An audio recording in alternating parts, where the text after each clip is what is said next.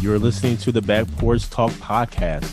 Danny and Jason had many discussions and debates on the back porch while making pivotal investment moves with assets. That's right, with trading cards. They welcome you to the back porch and right into those discussions about current sports news with a fresh and unique twist. So come on and join us.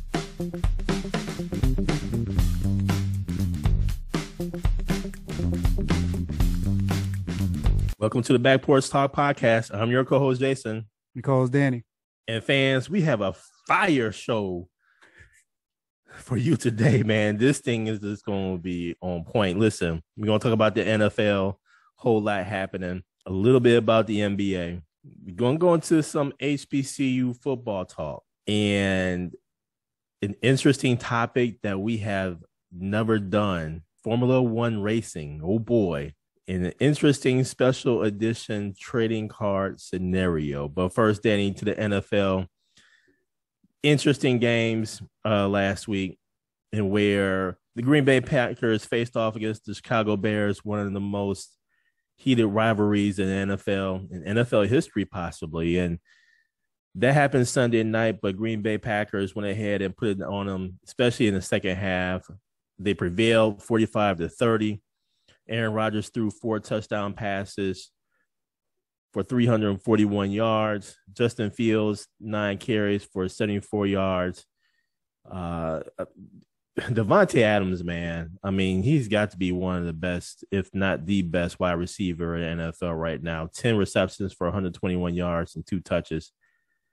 Uh, quite interesting game. I thought the Bears did pretty well in the first half. They had a pretty decent game plan, uh, and I actually thought the Packers came out a little lackadaisical, uh, especially coming off of the bye. But nonetheless, again, they went ahead and prevailed 45 to 30.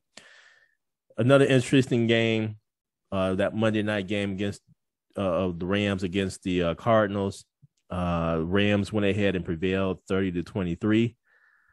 Matthew Stafford had a, a, an interesting game. I think he showed a little something there, Danny. We talked about these Rams Mm-hmm. Uh, must be something about December where teams really start to uh, really galvanize and really come together and actually uh, do something in December. December is that make or break month. Uh, Kyler Murray, man, I, I don't know what happened in this particular game 383 yards, but two picks. I think anytime you have a divisional game, you could throw the records out the window. Mm-hmm. That game, that divisional game is going to be uh, a very tough one. Uh, and I think that's one thing that the Packers realized, especially in that first half, and and the Cardinals realized in the entire game. What say you, Danny? Uh, first off, Kyler Murray back in that Cardinals game, two huge picks. One was in the red zone when they were about to score at the beginning of the game, and one he just didn't put enough on it, and they picked Rams picked them off and ran it close so they were in the red zone and ended up scoring. That was a tough loss for the Cardinals, man. Uh, now they're in the second spot with Green Bay, tied with the Buccaneers with Green Bay in the one one spot right now. A lot of jockeying, like we talked about last week. Speaking of the Buccaneers, great game with Buffalo. That game was terrible from the Buffalo standpoint. It was 24 to 3.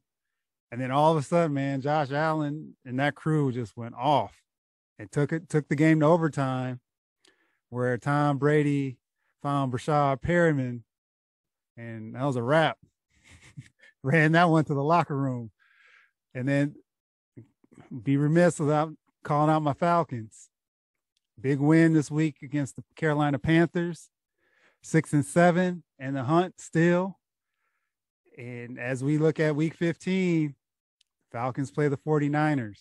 49ers are seven and six. Uh, a couple other games to highlight this week coming up tonight: Chargers, Chiefs, big game. Colts, Patriots. Jason, how about you, man? What you thinking for this week coming up? One of the things that I'm I'm really looking forward to um, is this Packers Ravens game.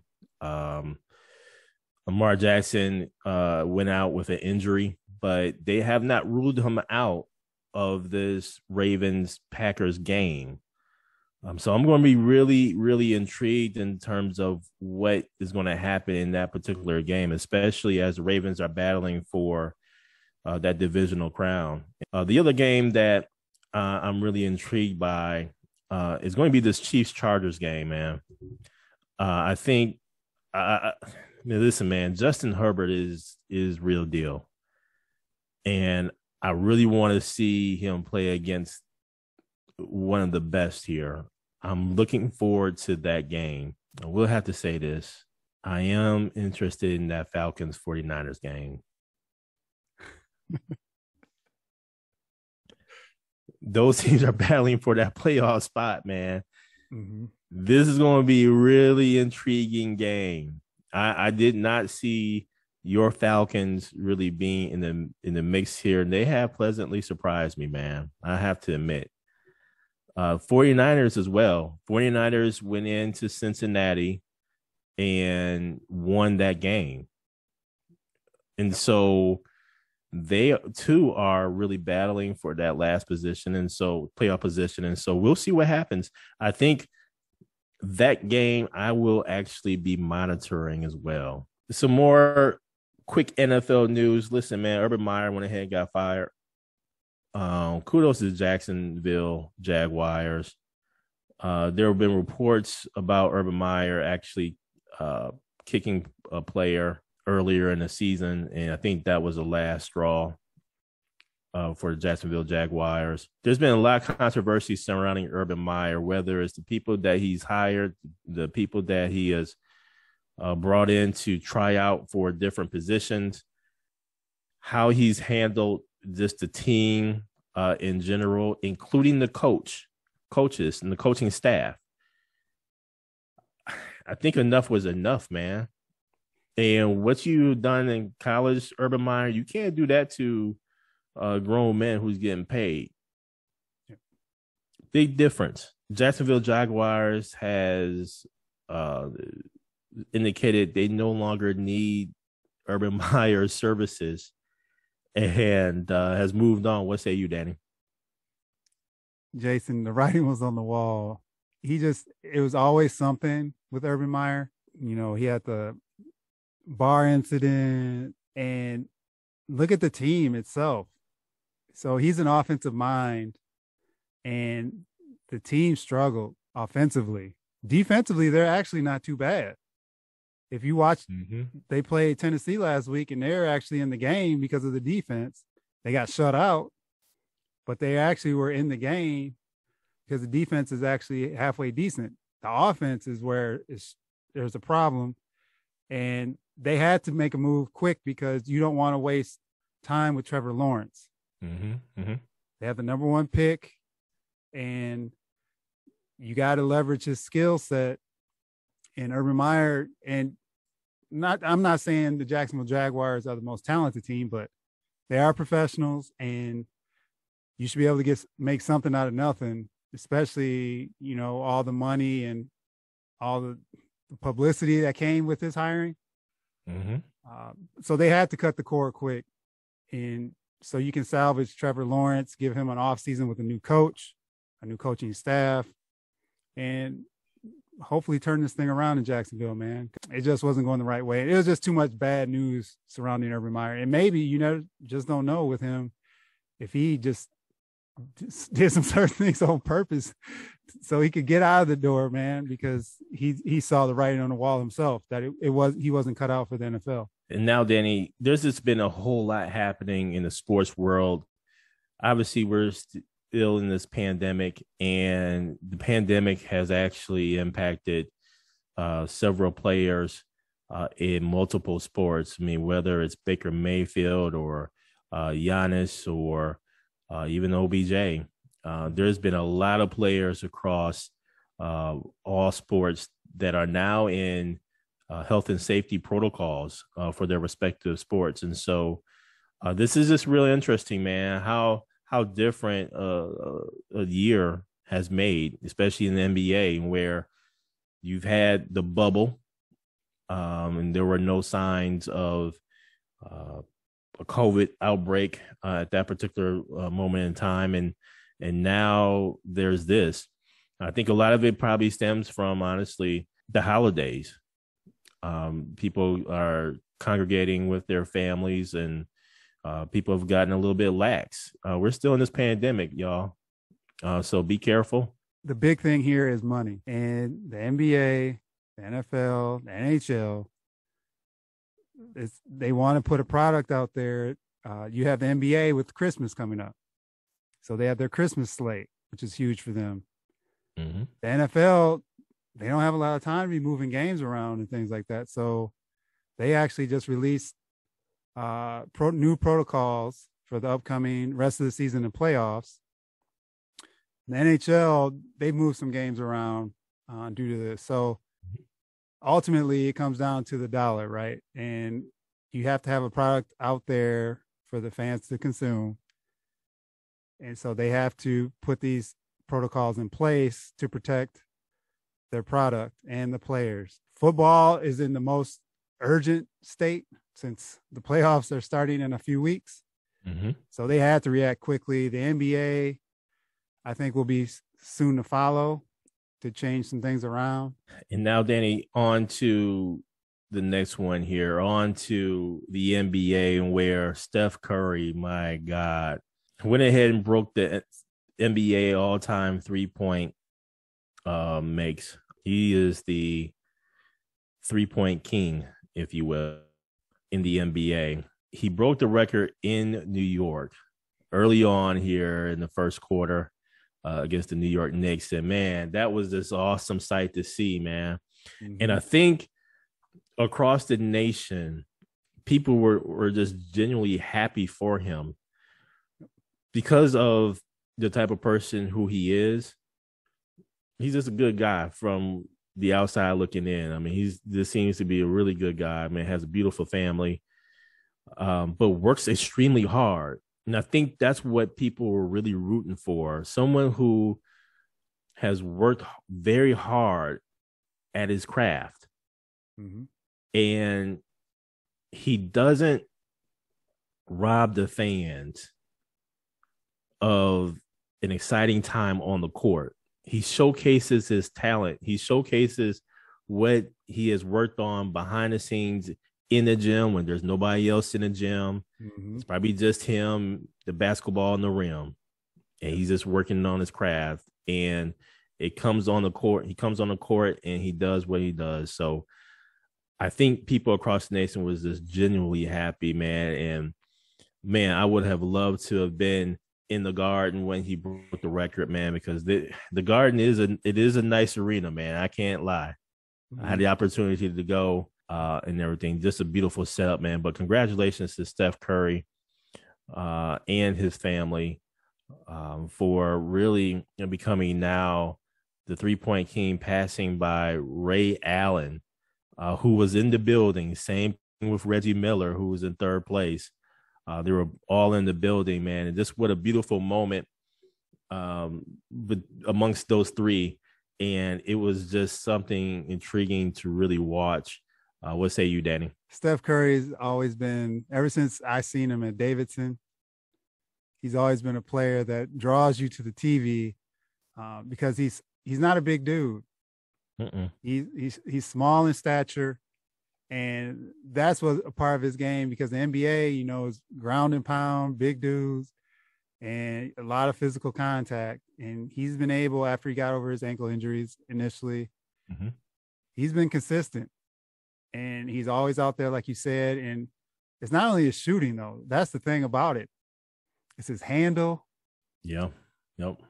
It's his game is all around great. And I think too, the coaching staff, you got to contribute that to them too for letting him mm-hmm. play his game.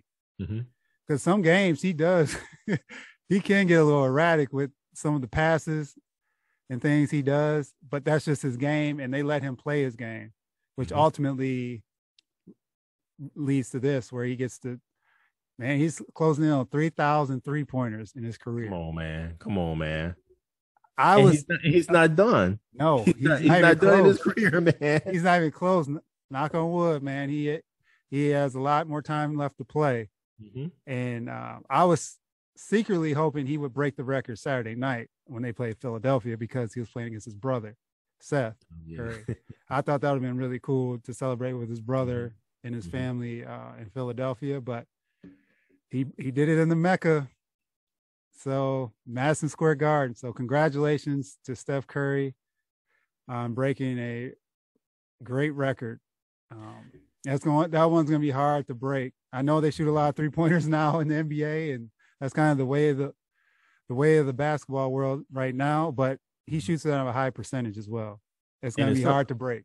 And it's something you mentioned earlier about you know he, him being not as big, right? He's but mm-hmm. six three, uh, and I think one of the reasons why the nation was really celebrating Steph is because he's changed the game. Mm-hmm.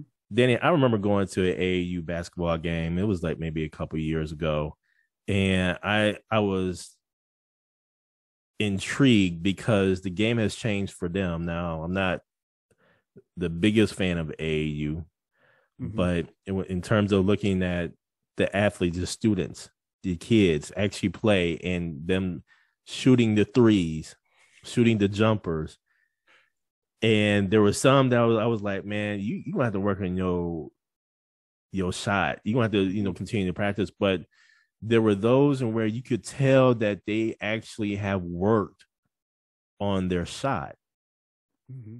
and you can really attribute that to Steph Curry.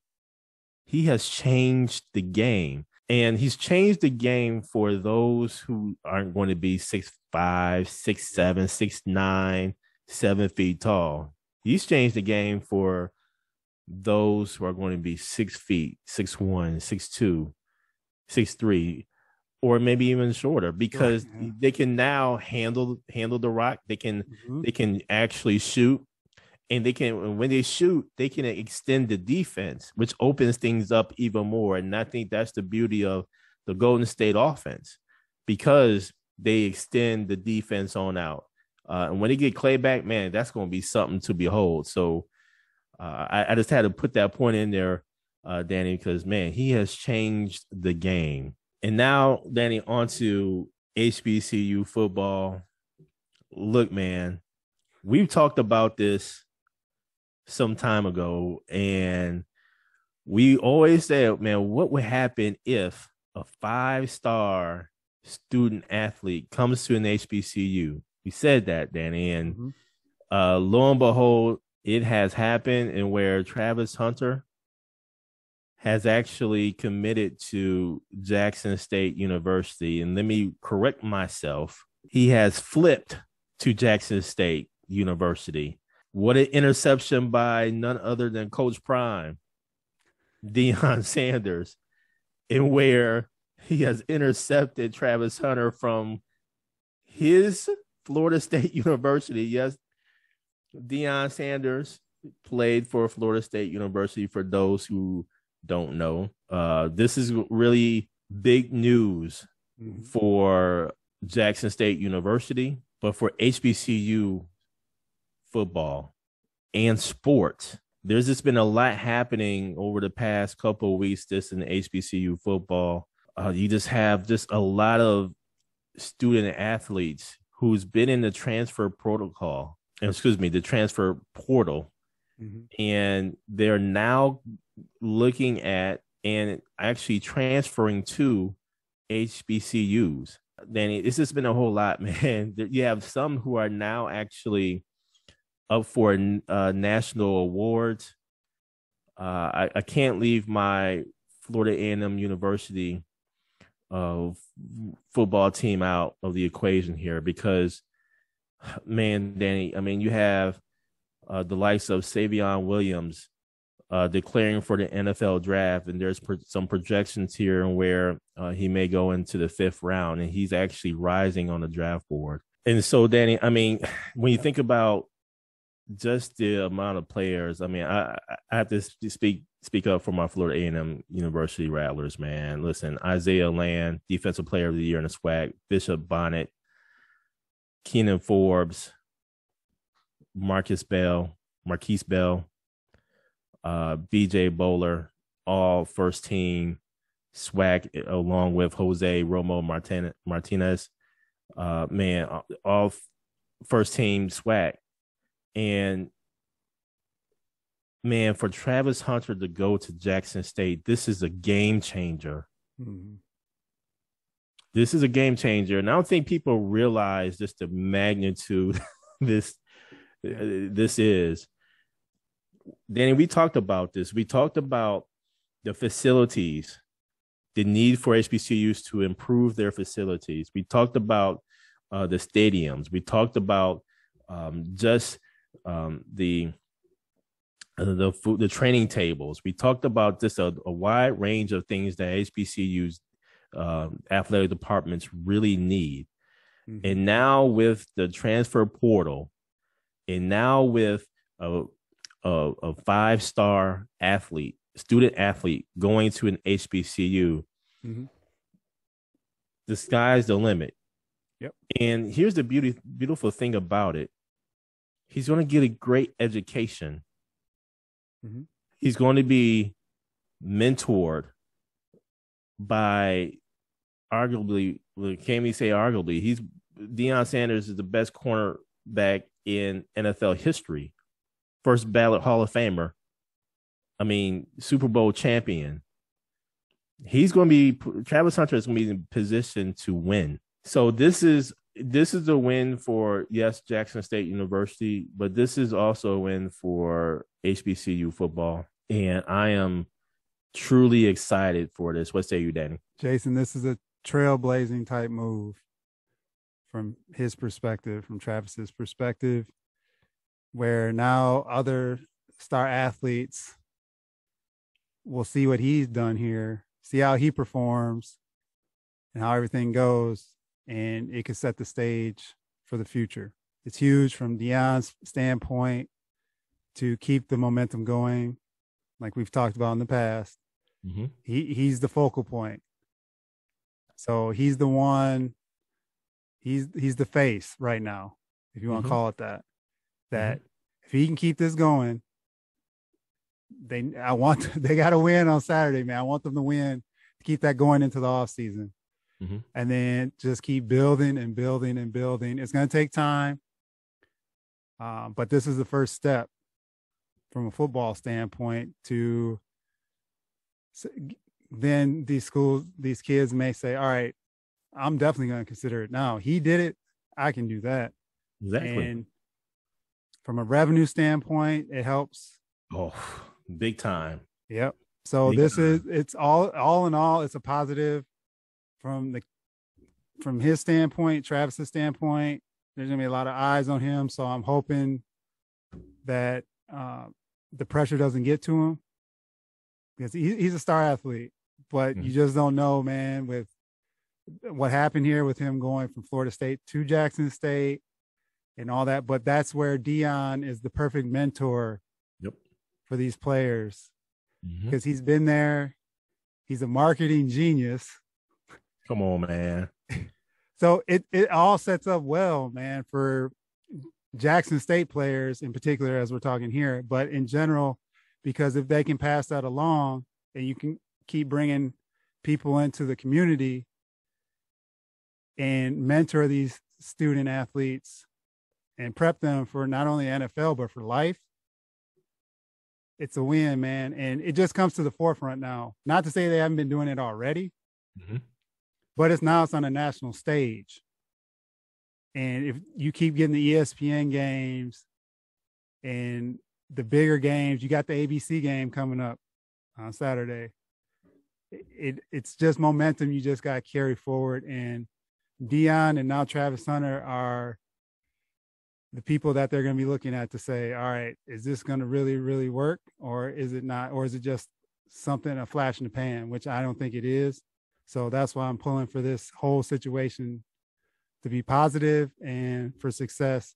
Transfers that's happened already. I mean, you have uh, transfers, uh, former uh, UCLA quarterback now going over to Grambling State with mm-hmm. Jackson.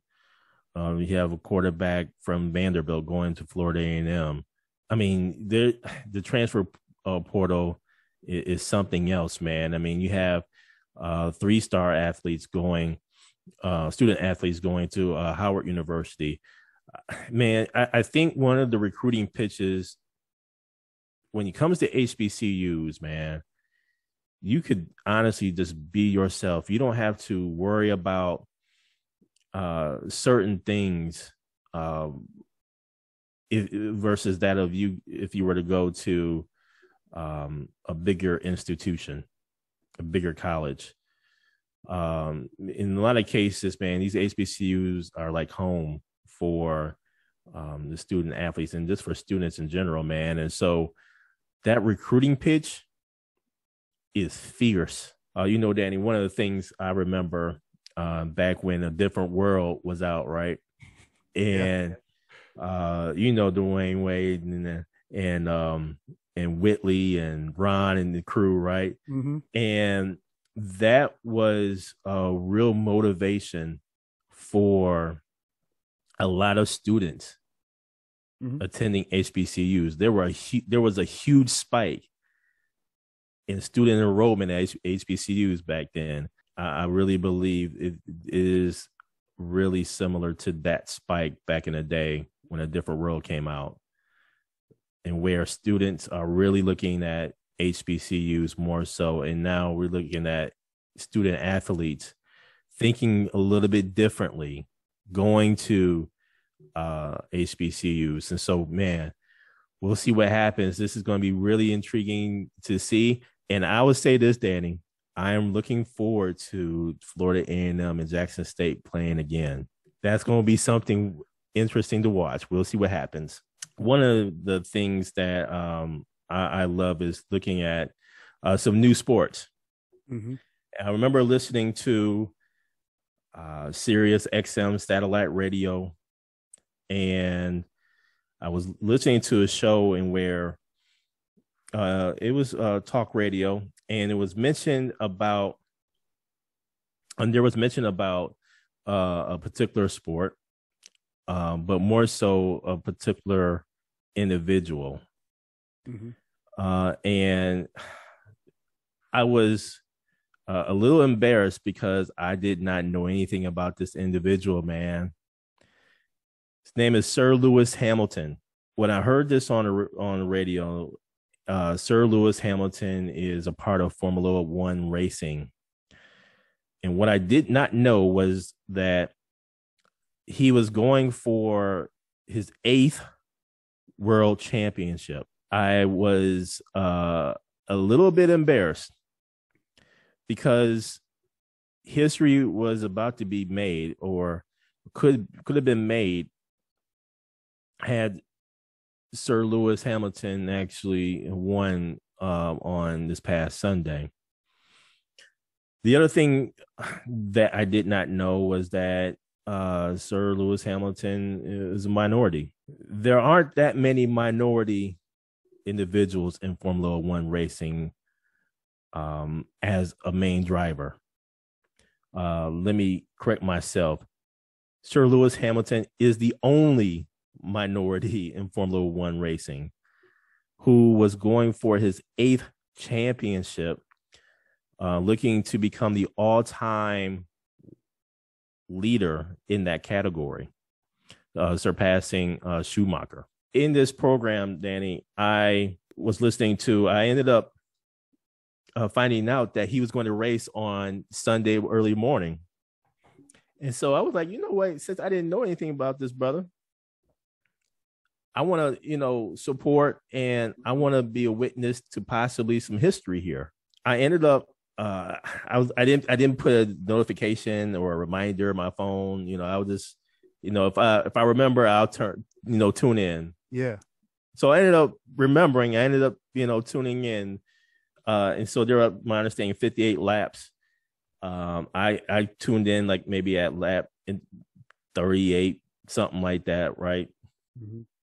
And I was, you know, I was actually really intrigued, man. I've never really sat down and watched uh Formula One racing um or anything like that. I remember uh going to uh carb day Indy 500 um before and uh, you know but Formula One racing seems to be a little bit different, man. Because what I loved about it was was uh, that all the twists and turns and you know the strategies and all that stuff, right? And I'm like, man, this is this is kind of dope. And he's in the league. Come on, man. Yeah. And I was rooting for him. I was really into it. Mm-hmm. And then Danny, uh, the controversy started happening. There's a lot of controversy with what we witnessed there. Basically, crash happens, and safety car comes out, and there are certain rules and regulations that Formula Formula One actually has. Uh, I'm not going to go into the great detail here, but listen, man, there's certain rules and regulations, and I'll refer you to uh, Article 48.12 and Article 48.13 in Formula One, uh, and we'll probably we may put it in in the uh, in our notes here but there are certain rules in terms of the safety cars, certain rules in terms of allowing uh, some of the cars to pass, things of that nature. Uh, but the controversy is basically how the rule changed in the middle of that last lap. Over time, the rule has stuck. Mm-hmm. And basically, in a sense, Sir Lewis Hamilton should have won this race, man.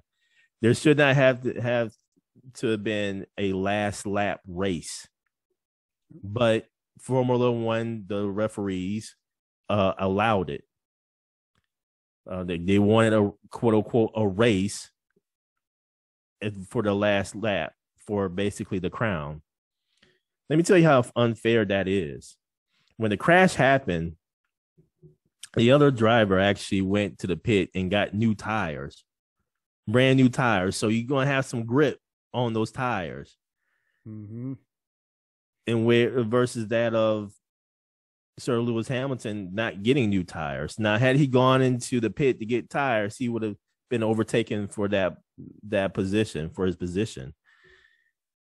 Danny, this is uh, a travesty, man. Um, some would say game on.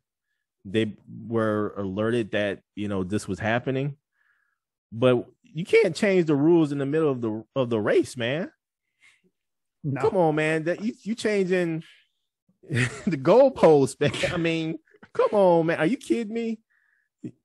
So you just gonna go ahead and just change in the middle of the race. Mm-hmm. And in doing so, you have taken the crown, taken the chip away from Sir Lewis Hamilton and it was interesting, man, because uh, I'm going to quote something here from Samuel Jackson, Danny. Mm-hmm. Samuel Jackson came out and said this. He says, "I know all too well what it what it, what it's like to have to defend yourself in public and sit back and watch your friends and family be silent. I can't do that. We shouldn't let at Lewis Hamilton fight this alone. Life is short. Tomorrow isn't promised and more time is not guaranteed for any of us. We shouldn't console him with next year. For a full season, we watched Lewis compete with Max for this title fairly and aggressively. Max is an incredible driver. He deserved all his wins this season, but he did not win this championship. Lewis, our brother, was robbed. For 57 and a half laps, he dominated sometimes he even led by 16 seconds. And I know that because I watched it, Danny. Yep. According to Red Bull's own status cards, Formula One has been on a campaign to bring in a wider and diverse audience, but somehow continues to railroad its only black driver in the sport by making arbitrary last minute rules that consistently contradicts the previous ones. These rule changes seem to specifically affect Lewis the most. Formula One, FIA may not do the right thing. And in that case, they, they deserve to lose us fans in the process or US fans in the process. While this is entertainment overall and pales in comparison, comparison to many other issues we face, we shouldn't ignore that this man is part of our legacy as a people and this is his life's work he is being robbed of. That is Samuel L. Jackson, Danny. I, I want to really inform the people uh, of Sir Lewis uh, Hamilton here, man. Um, 36 year old racer, uh, outspoken advocate for human rights.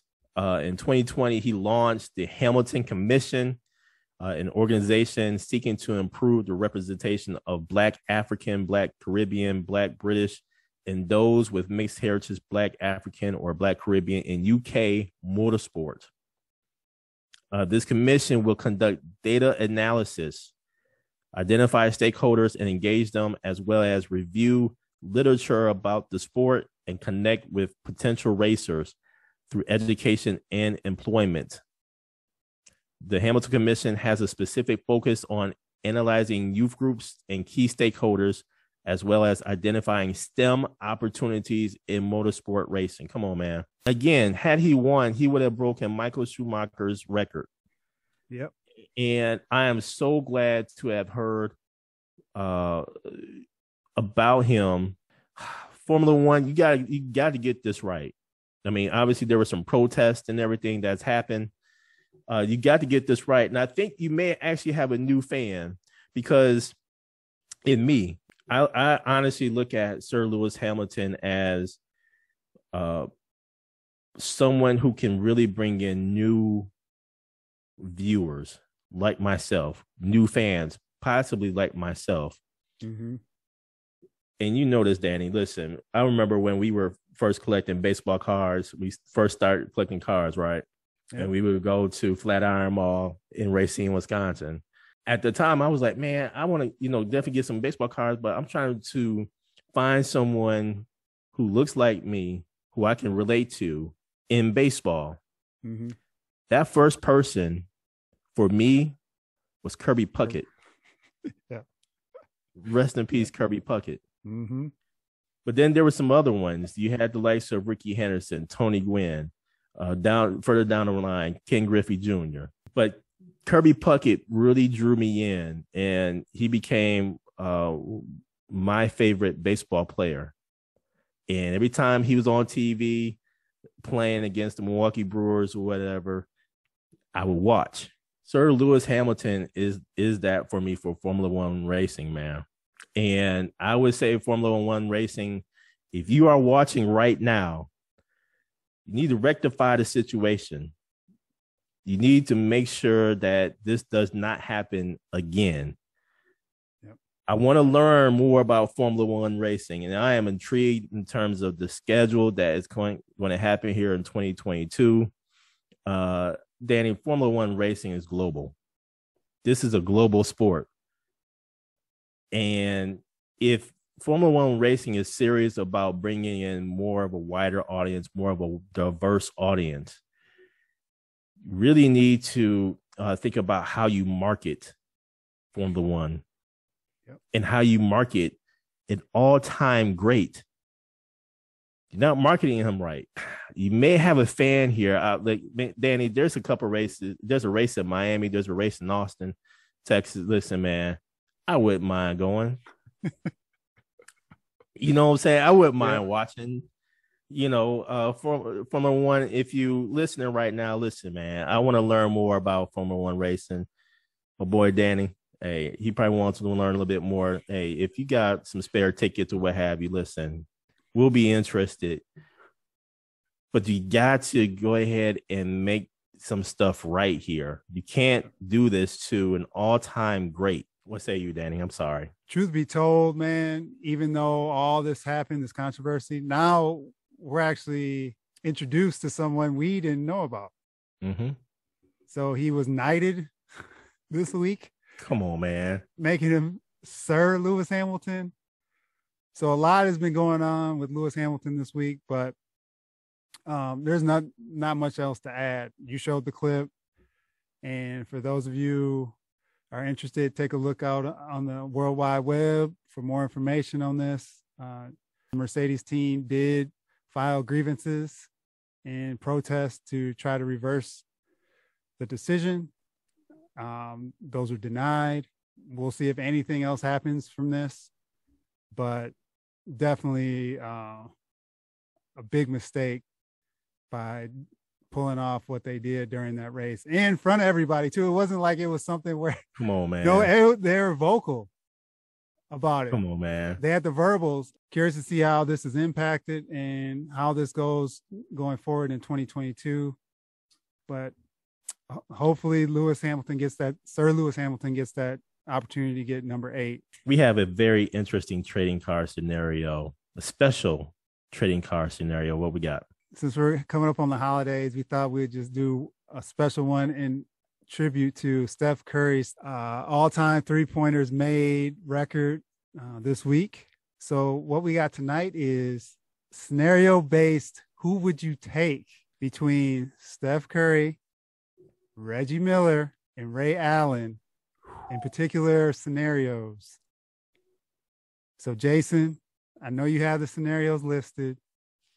If you want to go one by one and we can say who we're going to take, and then we'll see who the fans would take in these scenarios. We thought about who would you take in the NBA Finals game?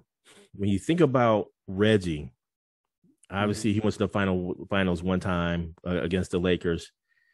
Uh, there were a couple games he didn't show up. There was, you know, a couple games he did show up. Uh, and he shot very well actually in that one game, uh, one of those games.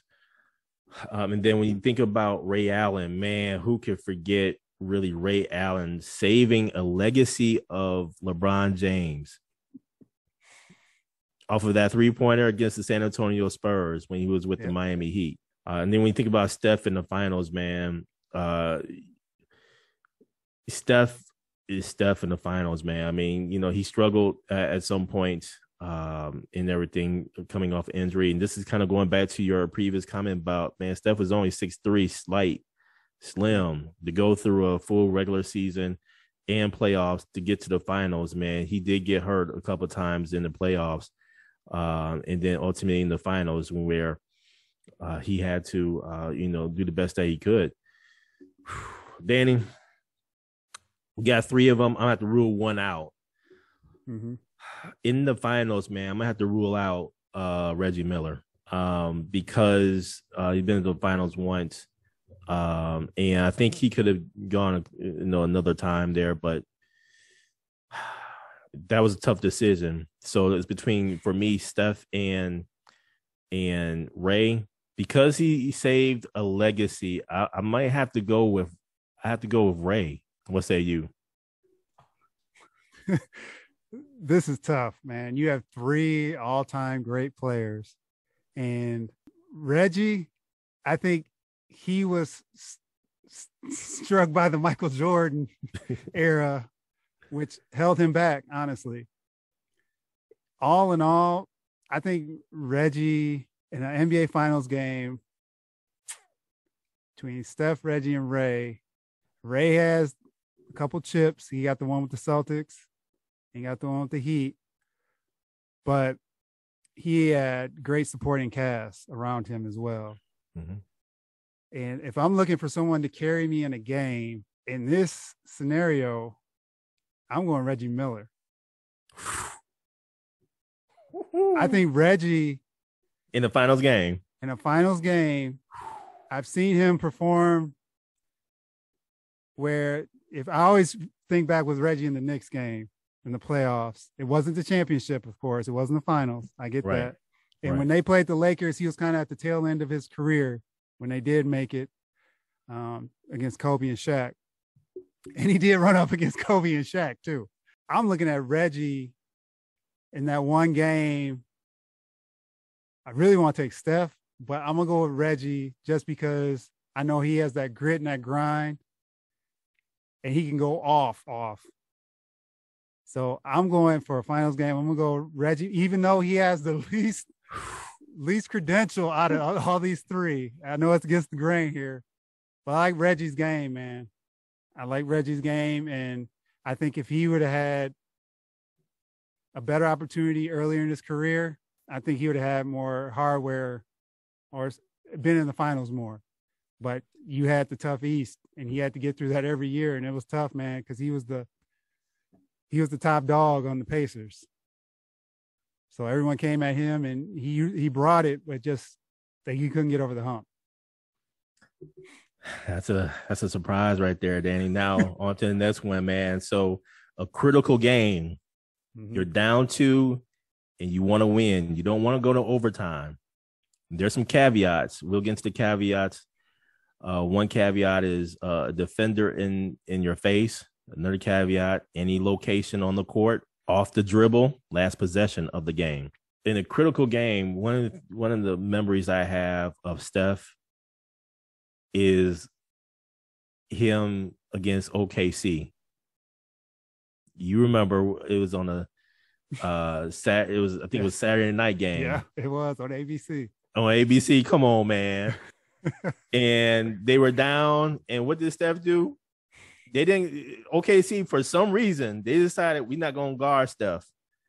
And Steph got the ball as soon as he got past half court, a step past half court. He shoots, man, and he makes it, man. Come on, man.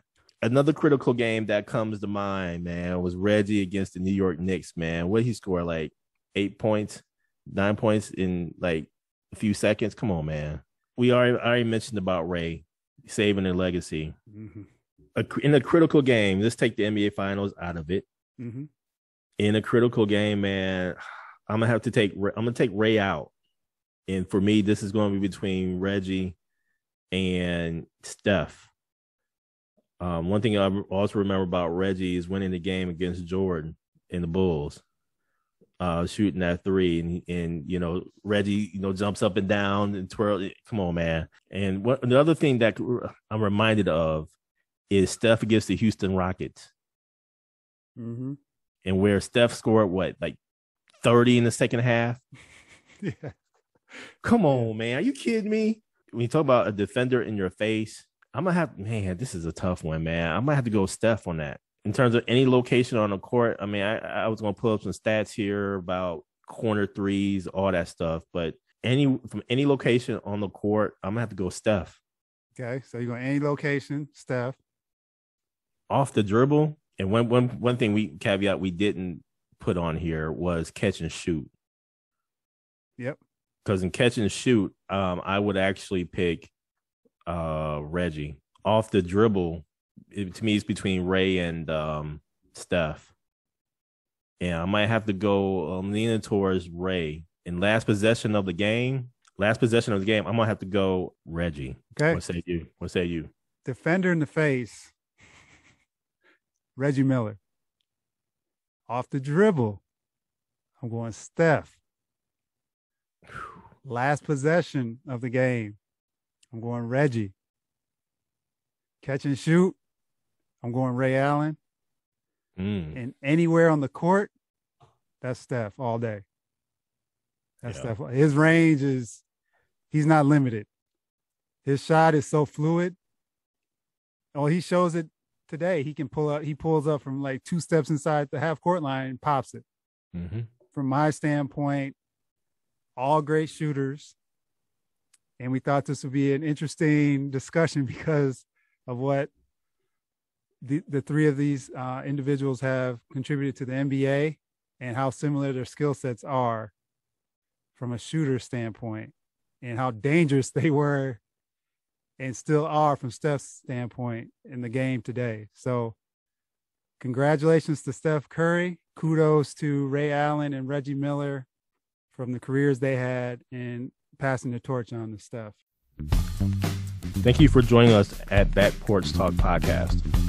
You can also join us on Twitter by tweeting us at back underscore podcast. For more information, you can go to our website, which is backporchtalkpodcast.com. You can also email us at backporchtalkpodcast at gmail.com. Again, thank you for joining us, and remember that there's enough hate in the world, so go ahead and spread a little love.